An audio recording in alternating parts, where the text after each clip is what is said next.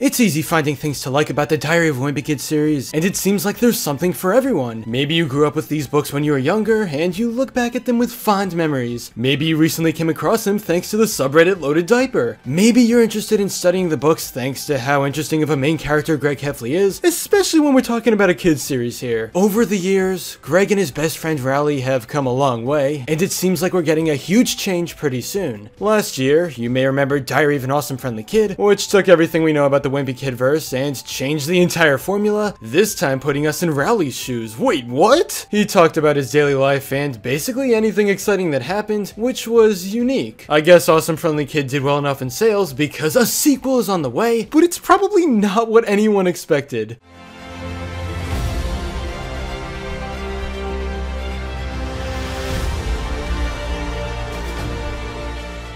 Welcome to the world of Rowley Jefferson's Awesome Friendly Adventure, which further changes the formula of what's considered normal for these books. You've never seen the Wimpy Kid world like this before, an entirely new, awesome, friendly, truly fantastic fantasy quest from number one international bestselling author Jeff Kinney. From the imagination of Rowley Jefferson comes an adventure of epic proportions. Join Roland and his best friends Garg the Barbarian as they leave the safety of their village and embark on a quest to save Roland's mom from the White Warlock. Will our heroes survive? Find out in Rowley Jefferson's Awesome Friendly Adventure. Right away, it's clear that this isn't your average Wimpy Kid book. All of the previous entries may be exaggerated, but there's still real-life events that could happen to pretty much any of us. Rowley's second book isn't just another diary of him talking about his daily life, but instead a fantastical take on the iconic characters we all know. From the description, it sounds like normal events are still happening, but Rowley's new writing style will make it seem like it's bigger than it really is. I just think the coolest part about Awesome Friendly Adventure is that up until now, we got nothing like it. Jeff Kinney is a nice writer and all, don't get me wrong, but seeing the series repeat itself over and over again is tiring. I don't really care much for the newer books because everything has already been done. When it heads into something like this, though, that leaves room for a lot of potential and storylines that haven't been made before. We get to see Greg and Rowley in new environments doing new things. Now, if you've been keeping up with my Diary of Wimpy Kid analysis videos, you'd realize that there's a lot more